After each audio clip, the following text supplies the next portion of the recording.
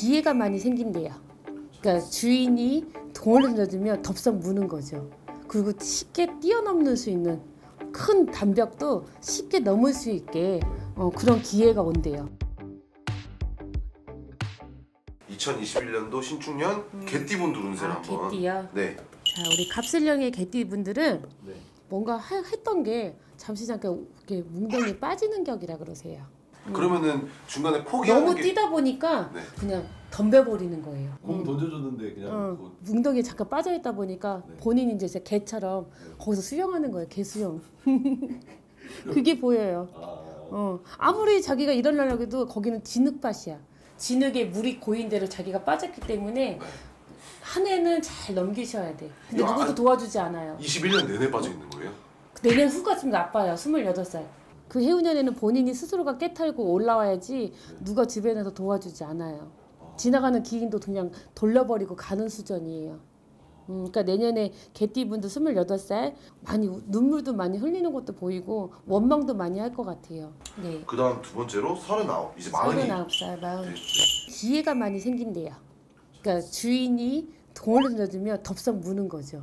그리고 쉽게 뛰어넘는 수 있는 큰 담벽도 쉽게 넘을 수 있게 어, 그런 기회가 온대요. 그러니까 지금은 작년까지는 아홉 수다 보니까 종종종 되고 맨날 거기서만 돌아다녔던 개들이 내년에는 우리 개띠분들이 크게 크게 담벽을 넘어서 다른 세상에서 새, 로운 맛을 본다 그러세요 지금.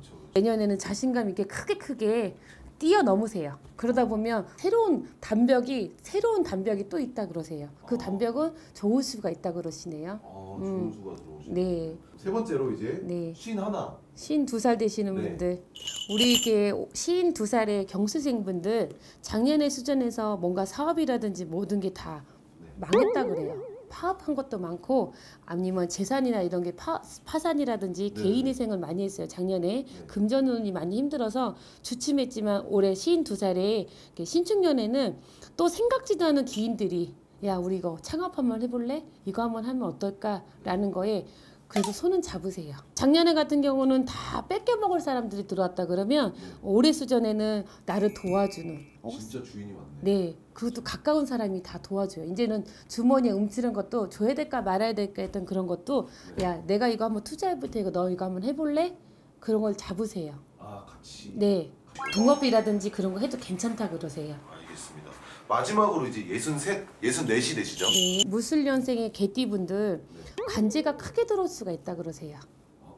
생각지도 않게. 어, 음, 무술년의 개띠분들 생각지도 않게 관제라든지 뭔가 크게 어? 하늘이 무너지는 일이 생기는 운이라 그러세요. 힘들게 가는 수전이에요. 그러니까 이분들이 네. 봄하고 가을에 한 번씩 꽃이 필 때랑 꽃이 질 때 요럴 때만 조금 인간들 좀 조심하시고 산같이 반갔으면 좋겠습니다. 또 그 생년월일에 따라 네. 또 좋을 수가 있고 나쁠 수가 있고 그리고 우리 개띠분들 내년에는 웬만하면 상갓집은 안 갔으면 좋겠어요. 재수도 없는 데다가 상갓집 갔다 오면 더 재수가 막히거든요. 그러니까 방법이라고는 상갓집까지 안 왔으면 좋겠어요.